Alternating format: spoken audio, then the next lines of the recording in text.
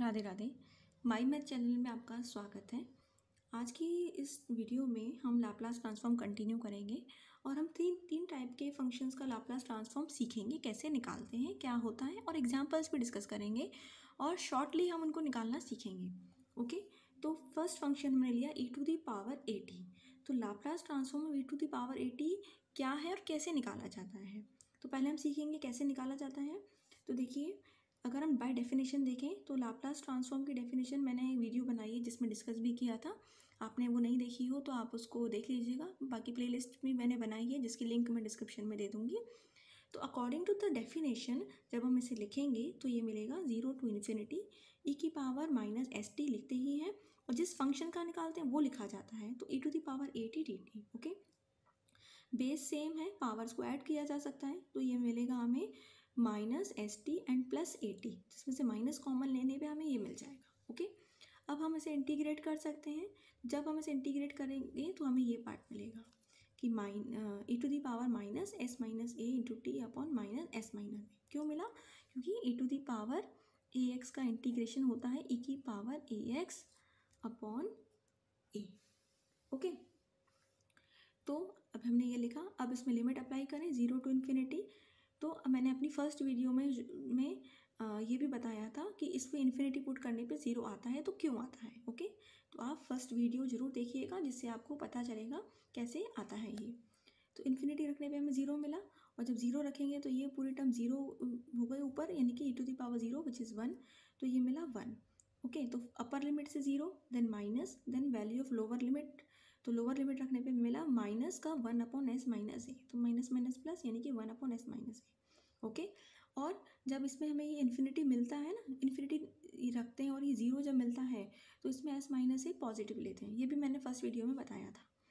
तो उसी तरह से हमने इसे यहाँ पे पॉजिटिव लेना पड़ा तो एस माइनस ए पॉजिटिव होगा, तभी ये ज़ीरो मिलता है। अदरवाइज़ इन्फिनिटी हो जाएगा। और according to definition Laplace transform के लिए ये इंटीग्रल एग्जिस्ट करना चाहिए। मतलब इसकी वैल्यू फाइनाइट होनी चाहिए। तो इसीलिए हम इसको पॉजिटिव लेते हैं।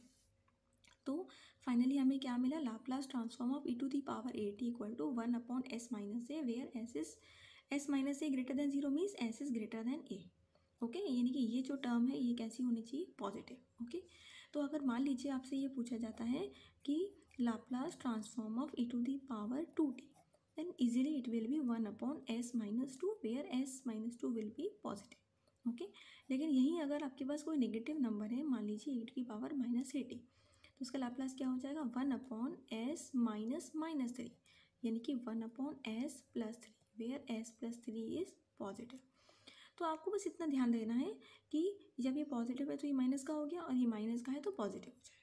ओके? ये फॉर्म अगर आपको ध्यान है देन आप डायरेक्टली निकाल सकते हैं।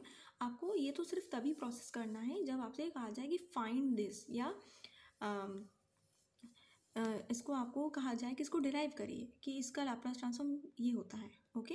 Otherwise you have to remember this result इस रिज़ल्ट को आप हमेशा याद रखिए ओके? और ये कई क्वेश्चन में आके यूज़ होगा। तो चलिए अब हम सेकेंड फ़ंक्शन की ओर बढ़ते हैं।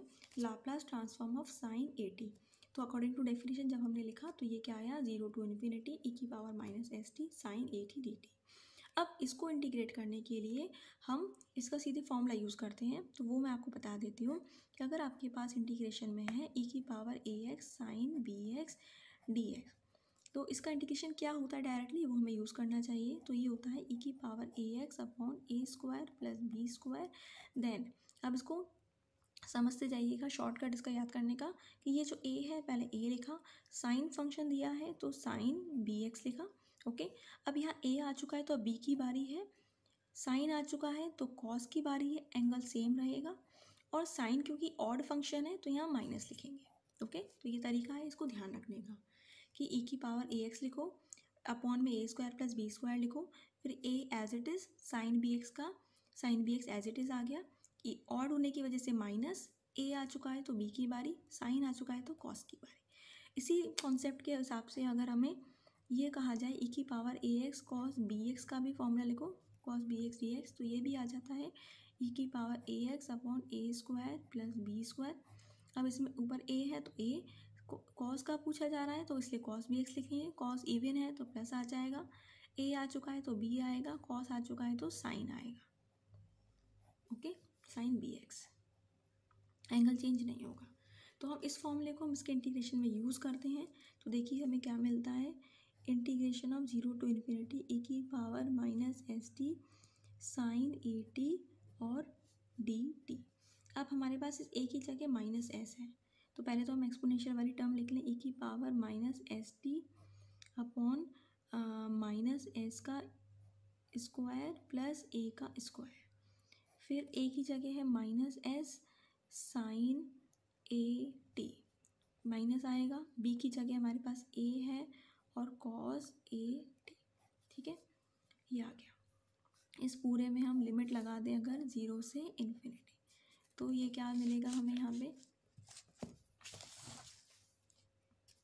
ये देखिए, ये हो जाएगा, जब हम, एक तो ये बाहर हो जाएगा one upon s square plus a square upper limit put करेंगे तो ई की पावर माइनस इन्फिनिटी हो जाएगा विच इज़ ज़ीरो तो अपर लिमिट से तो हमें ज़ीरो ही मिला माइनस लोअर लिमिट जब पुट करेंगे तो टी की जगह ज़ीरो रखेंगे तो ये तो वन हुआ, लेकिन ये ज़ीरो हो जाएगा, और जब इसमें रखा तो ये हमें देगा माइनस का ए तो माइनस ऑफ़ माइनस ए यानी कि हमें मिला a upon s square plus a square okay तो हमें इससे क्या मिला कि Laplace transform of sine a t is a upon s square plus s square. और एस हमारा क्या है? पॉजिटिव है। तो आपको ये रिज़ल्ट याद रखना है। ठीक? इसी कॉन्सेप्ट को यूज़ करते हुए जब हम Laplace transform of cos a t निकालते हैं, आप इसको खुद करके ट्राई कर सकते हैं तो ये आता है s upon s square plus a square. Where s is positive.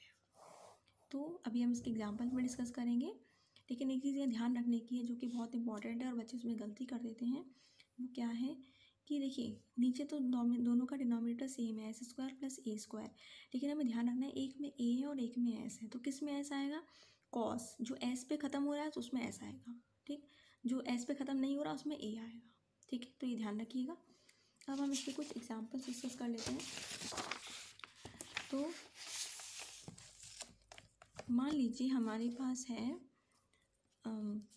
हमें निकालना है Laplace transform of sine four t ठीक?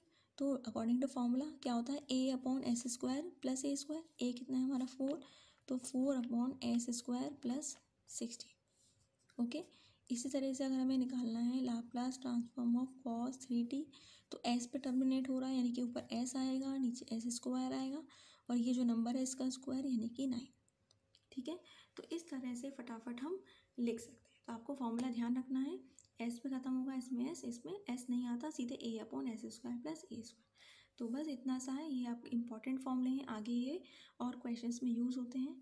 ओके तो आई होप आपको ये लाप्लास तीनों का समझ में आया होगा, तीनों फ़ंक्शंस का। और अगर वीडियो अच्छा लगा हो तो लाइक करिए शेयर करिए चैनल को सब्सक्राइब करिए, क्योंकि मैं अभी आगे इस पर और भी वीडियो बनाने वाली हूँ। Take care Radhe Radhe.